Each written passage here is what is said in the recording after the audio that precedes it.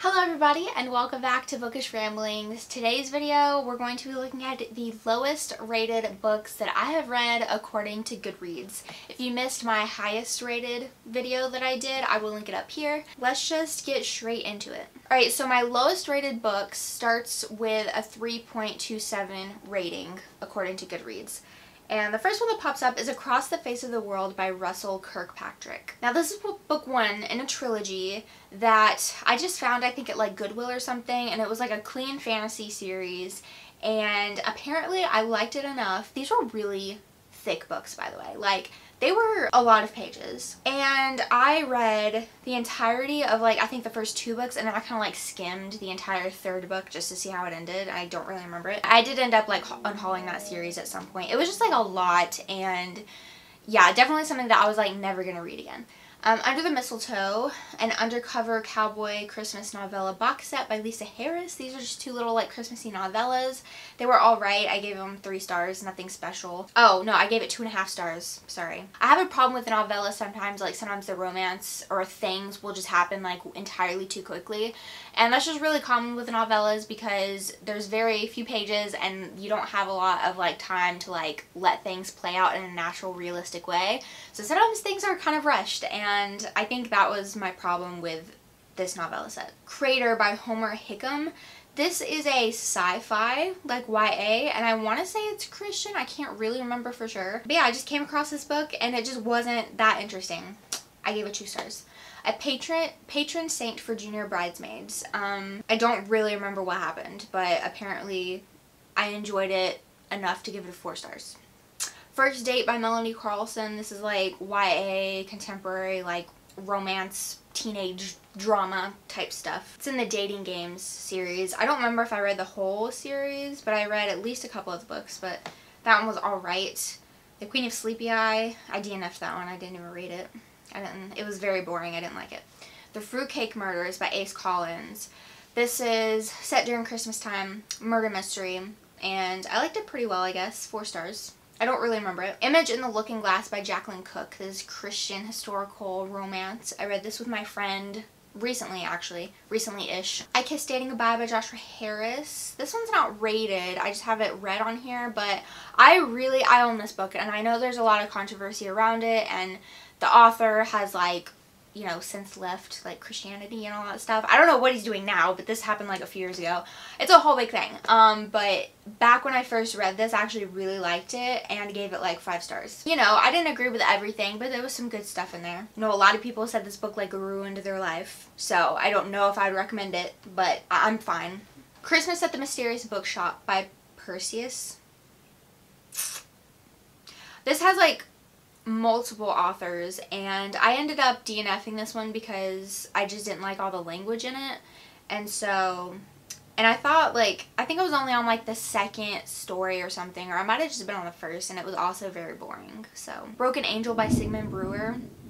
This book was like kind of weird and I did not like reading from the this um, bounty hunter guy's perspective because he was super like twisted in the head and like evil and he would talk about like ways he was gonna like kill people and stuff and torture them and I was like so disturbed. I hate reading stuff like that. Like I still remember one of the ways he described that he was gonna kill this guy. I was actually thinking of this the other day. I don't know what made me think of it. And I was like so disturbed and I was like to this day I wish I had never read that ever because now I have that image in my head and I wish I didn't. Lucky in Love by Kasie West. Um, this one was pretty good. I thought it was cute. This girl like wins the lottery and it's just like the way she spends her money and I think those stories are really fun and it's fun to imagine what I would do if I won the lottery and how I would spend my winnings. Um, so this one was entertaining and I thought it was cute. Offworld by Robin Parrish. This was a very interesting uh, Christian sci-fi.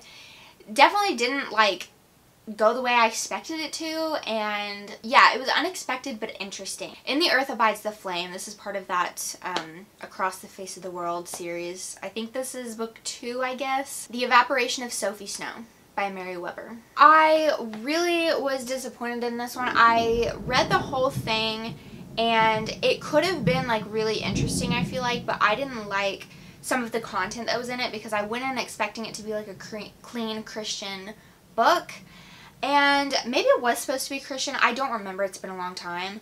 Um, the cover's really cool. But it just had like some content that like wasn't anything explicit, but y'all know I'm a little bit more picky with certain kinds of content and when there's like maybe suggestive stuff or just little things, I'm like, I, I don't like it. So I didn't like this one. I was really disappointed in some stuff that was in here.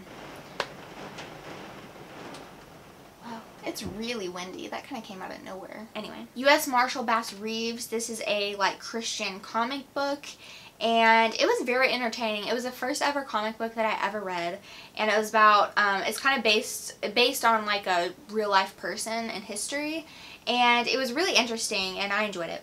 Give it five stars. The Realms Thereunder by Ross Lawhead.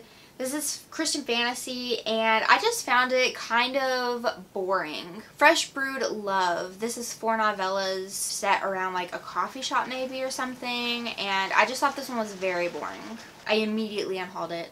The Holiday Swap by Maggie Knox. This one I actually enjoyed pretty well. Um, it was, I didn't like some of like the language and stuff that was in it, but otherwise um, I enjoyed it and I thought it was cute. Amelia and the Captain by Lori Copeland. So I really enjoyed this trilogy. This is like the Sisters of Mercy Flats, I believe it was called and it's historical like Christian romance and it's about these three different sisters. The other two I read before I had Goodreads so they're not on here. I just have this last one on here.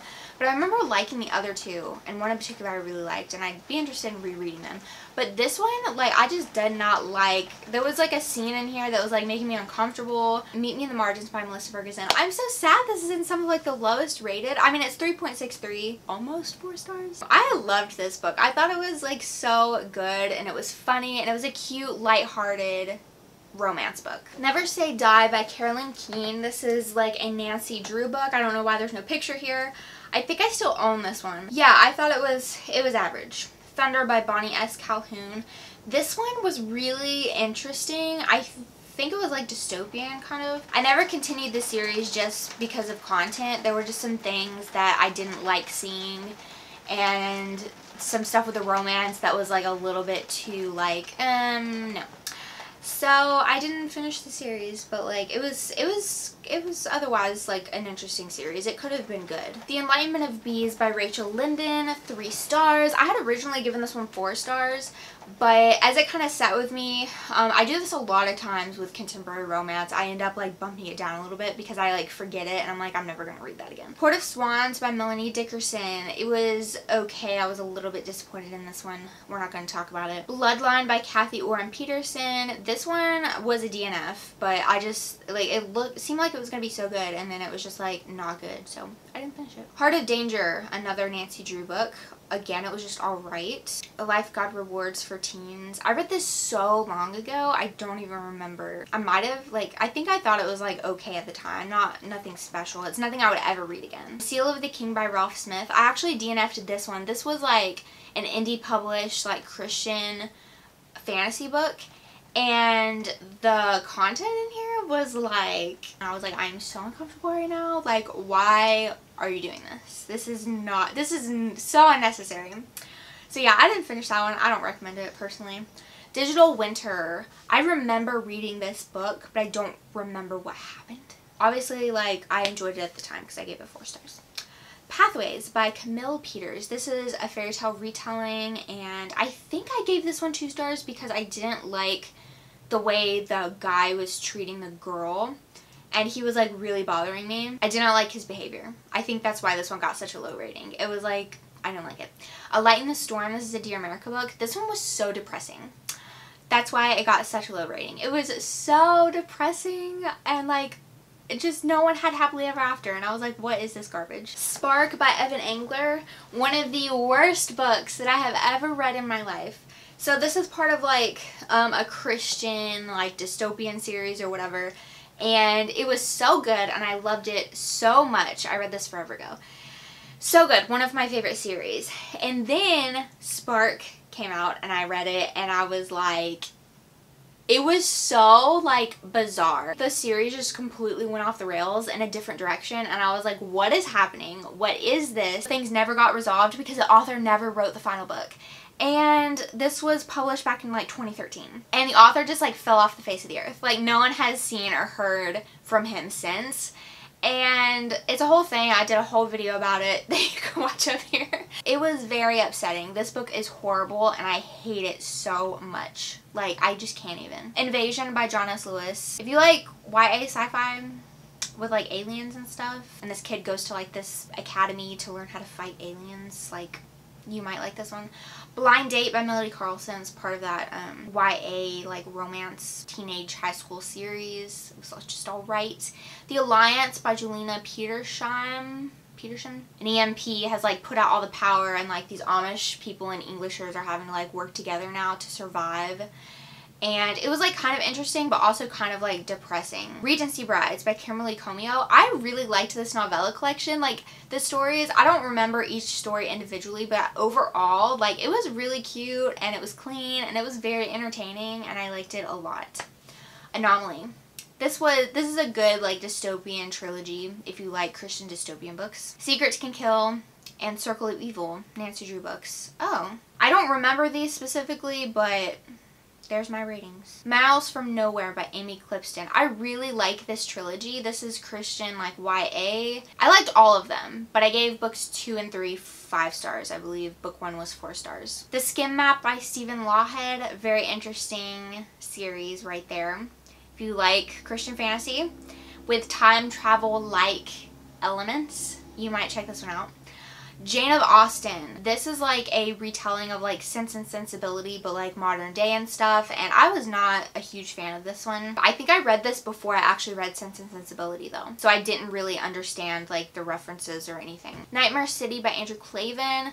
This one was like not as exciting as it sounded on the back. Like it sounds like it would be so cool and exciting and also like kind of scary but it just like wasn't. It was just kind of like meh. It started with Goodbye by Christina June.